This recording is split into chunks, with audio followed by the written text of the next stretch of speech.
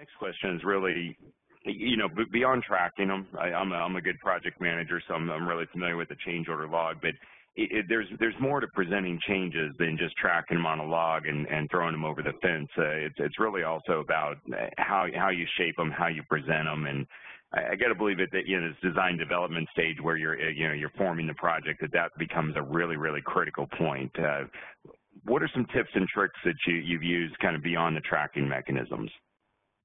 You know, the, the contractor has to spend enough quality time with the owner to make sure the owner understands that probably they're over budget day one.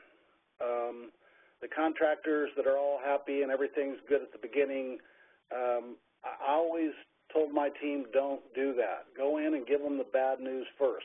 Owners hate bad news late.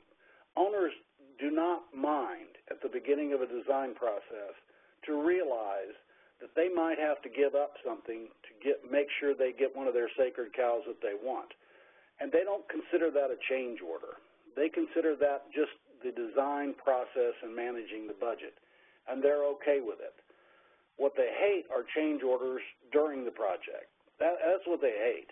That, that, that's what they are doing this whole process for, is to minimize change orders uh, uh, during the project.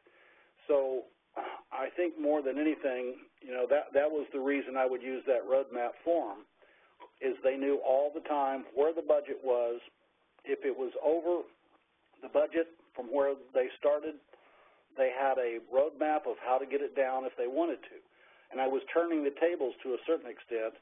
If the owner wanted the project to meet the budget, then he had to make decisions to allow that to happen. If he rejected all of our ideas, then I couldn't really be held responsible because I gave him the roadmap to get it within the budget.